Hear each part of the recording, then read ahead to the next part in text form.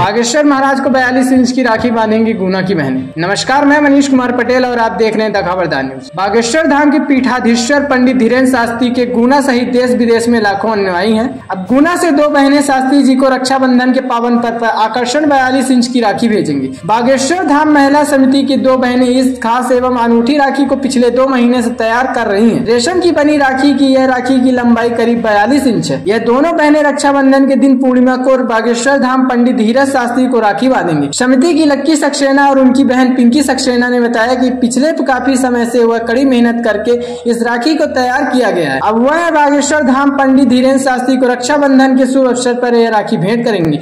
उल्लेखनीय की कथावाचक बागेश्वर धाम के पंडित धीरेन्द्र शास्त्री के लाखों की संख्या में अनुयायी और वह बागेश्वर धाम के बालाजी पर अपनी आस्था रखते हुए पंडित धीरेन्द्र शास्त्री भी इस दुनिया में विख्यात हो चुके हैं। ऐसे में उनके भक्त कुछ न कुछ अलग करते हैं। अब बात भाई बहन के पावन पर्व का राखी का है तो शहर की दो बहनों ने आकर्षण एवं अनूठी राखी तैयार की है। जैसा कि आप देख रहे हैं, ये हम बागेश्वर धाम में हमारे आदरणीय गुरु भगवान के लिए राखी हम लोग भेंट कर रहे हैं। और ये पूरी जो राखी है अपना पहले तो सभी को रक्षाबंधन की हार्दिक शुभकामनाएँ।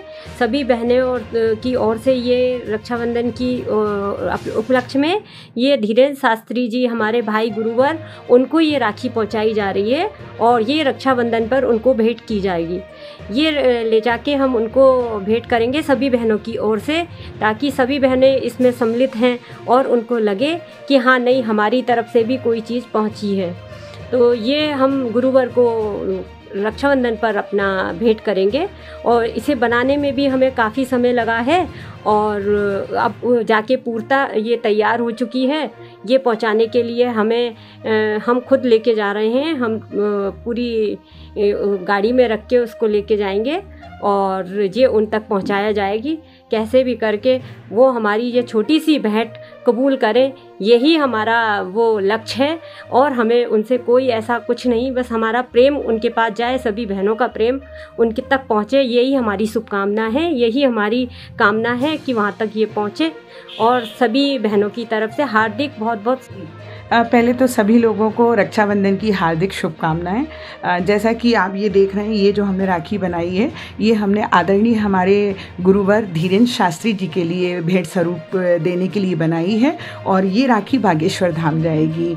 और इसको बड़ा आकार हमने 42 इंच का इसको आकार दिया है और ये आकार इसलिए हम लोगों ने इसे दिया है कि जो भी बहनें बागेश्वर धाम जाने में असमर्थ हैं, किसी कारणवश तक वो अपनी शुभकामनाएँ गुरुदेव तक नहीं पहुँचा पा रही हैं तो हमने कोशिश की है इस राखी की अंदर उन सभी बहनों की शुभकामनाएँ हैं और हमने एक एक जो रेशम का वर्क इसमें किया है और एक एक जो रेशम पत्ती इसमें लगाई है, वो इसी भावना के साथ लगाई है कि हमारी जो बहनें बागेश्वर धाम नहीं पहुँच पा रही हैं किसी कारणवश, उनकी सबकी शुभकामनाएँ हमारे गुरु भगवान तक पहुँची।